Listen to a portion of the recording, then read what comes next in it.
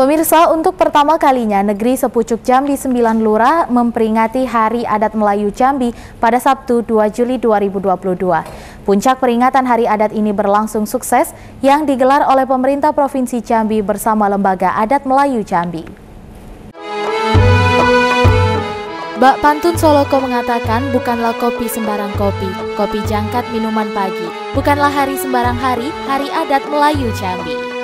Syair pantun dan indah tersebut merupakan pantun yang disampaikan oleh Gubernur Jambi Al-Haris saat puncak acara peringatan Hari Adat Melayu Jambi Sabtu 2 Juli 2022 bertempat di Auditorium Rumah Dinas Gubernur Jambi.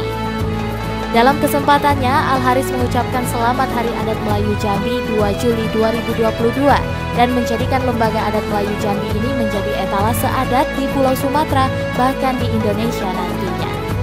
Dirinya meminta kepada Ketua Lam Jambi agar dapat semakin bersinergi dalam menyiapkan langkah-langkah konkret serta memiliki tujuan agar rakyat Jambi mengetahui dan melestarikan adat Melayu Jambi.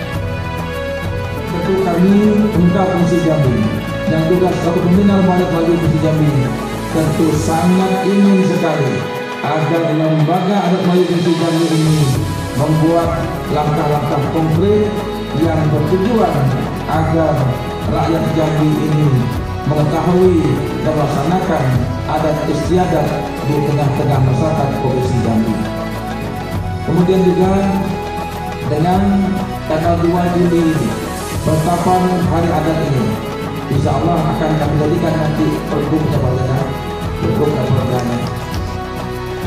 Sementara itu, Ketua Alam Jambi Hasan Basri Agus menyebutkan Hari Adat Melayu baru ditetapkan sejak kepengurusan LAM periode saat ini. Dan itu berdasarkan cerita lama bahwa 2 Juli 1502 sudah pernah ada pertemuan lembaga adat sejambi di Bukit Siguntang-Guntang Tebo.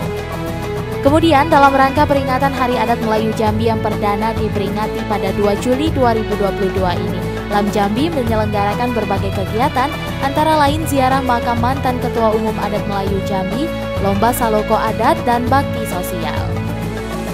Pada tanggal 2 Juli 2022 merupakan hari adat disertakan juga dengan disetujui oleh Majelis Perusahaan Adat dan disetujui juga oleh Bapak Gubernur Jambi. Keluarnya acara acara.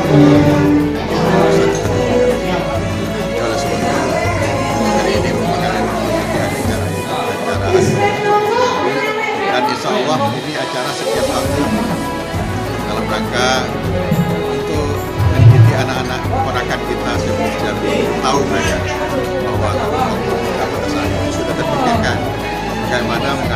anak buah ponakan kita ini. Pada acara peringatan Hari Adat Melayu Jambi ini juga dilakukan penyerahan sertifikat inventarisasi kekayaan intelektual komunal ekspresi budaya tradisional dari Kakan Wilkum dan HAM Provinsi Jambi kepada Ketua Lam Jambi. Penyerahan buku putih oleh Prof. Mukhtar Latif kepada Ketua Lam Jambi Hasan Basri Agus serta pemasangan PIN kepada pembina Lam Jambi. Rian Cencen, Cek TV, melaporkan.